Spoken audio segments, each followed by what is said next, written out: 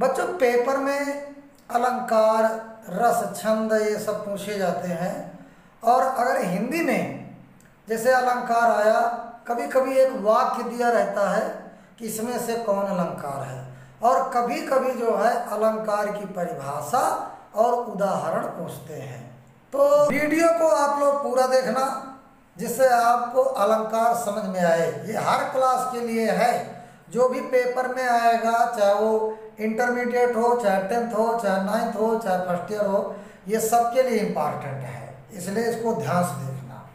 Paper में जो पूछा जाता है, जैसे उपमा अलंकार।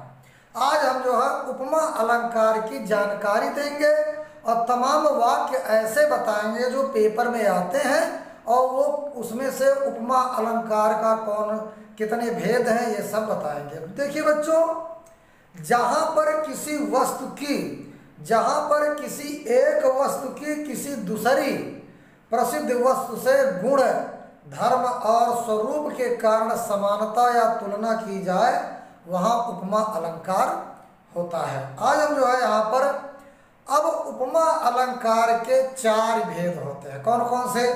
पहला है उपमेय, और दूसरा है उपमान, और फिर वाचक शब्द, इसके बाद साधारण धर्म। तो देखो, उपमेय उसको कहते हैं है ना? जिस वस्तु की तुलना की जाती है और जिस वस्तु की समानता बताई जाती है, उपमान। और उपमान उसे कहते हैं जिस वस्तु से तुलना की जाती है। उपमान उसको कहते हैं जिस वस्तु से तुलना की जाती है। देखो, जैसे हमने कहा कि भगवान कृण के, भगवान कृण के चरण कमल के समान है।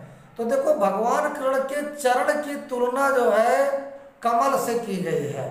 तो यहाँ पर भगवान कृण के चरण को जो है, हम उपमेय कहेंगे और भगवान कृण के जो चरणों की तुलना कमल से कही गई है, वहाँ पर कमल को हम उपमान कहेंगे।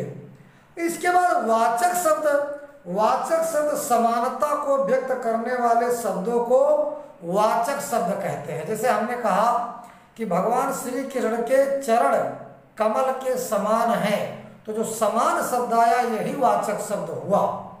इसके बाद साधारण धर्म साधारण धर्म जो गुण उपमान और उपमेय में समान रूप से होता रह, रहता है उसे हम साधारण धर्म कहते हैं।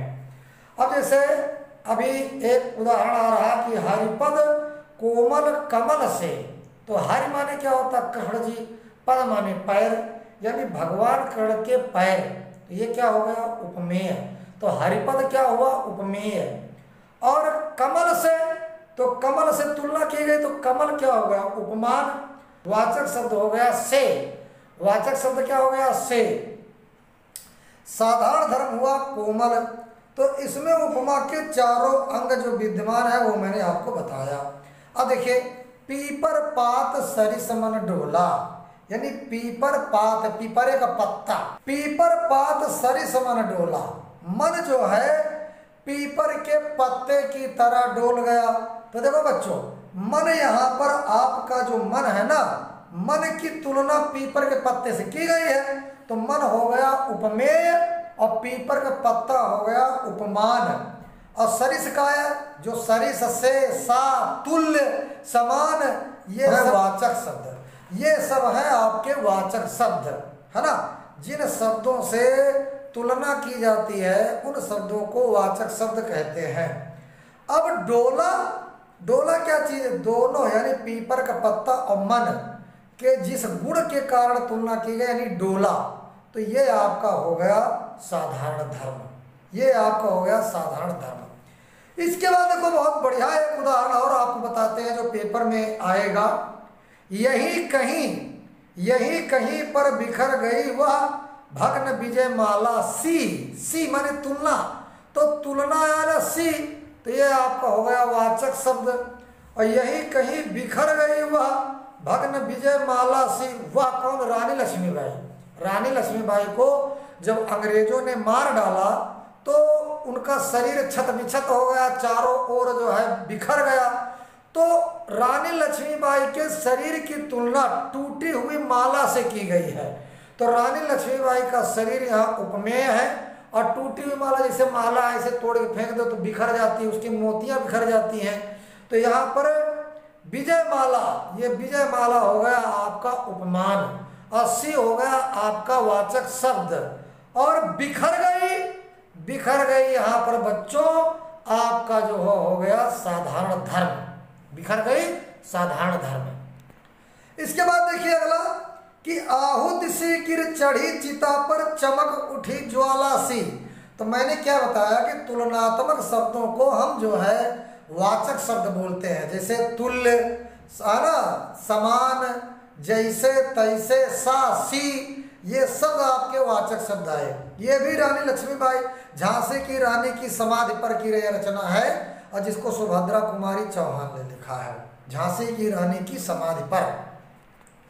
झांसी की रानी की समाधि पर सुभद्रा कुमारी चौहान ने लिखा है, हाई स्कूल में है, लेकिन हम यहाँ पर आपको अलंकार की बात बता रहे हैं, आपको उपमा अलंकार बता रहे हैं कि आहुत से गिर चढ़ी चिता पर चमक उठी ज्वाला सी।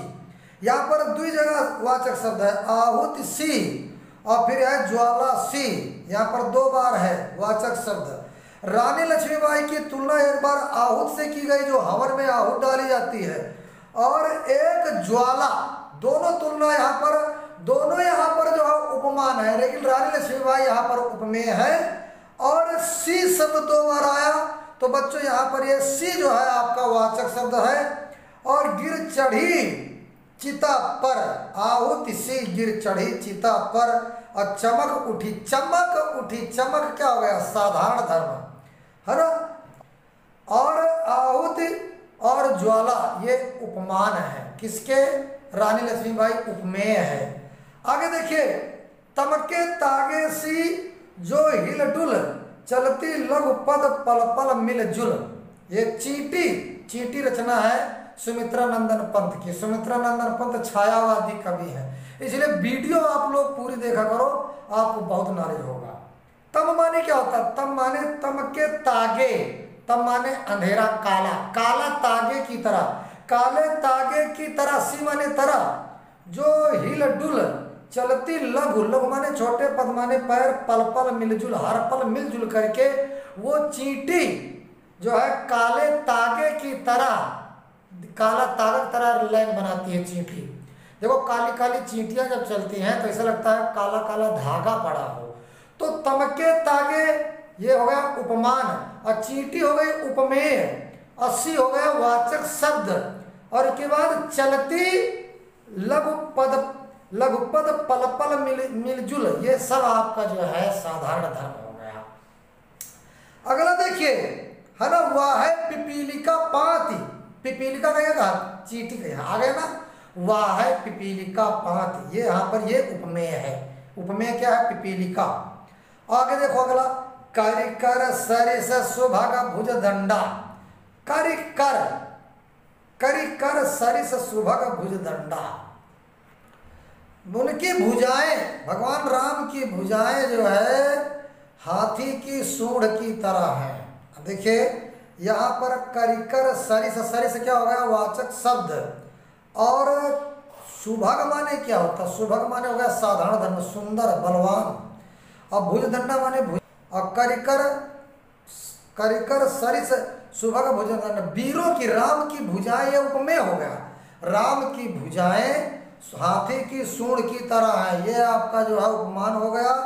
करिकर और सरिस हो गया, जो है वाचक शब्द सुभग हो गया साधारण धर्म। तो इस प्रकार से बच्चों, वीडियो पूरा देखा करो, देखिए तुमका समझ में ये उपमा अलंकार के चार भेद होते हैं।